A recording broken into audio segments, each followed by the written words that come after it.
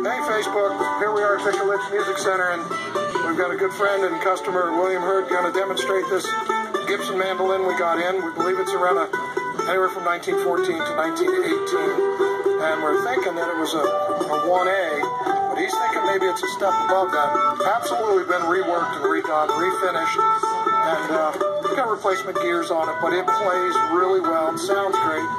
I'll shut up and let him play.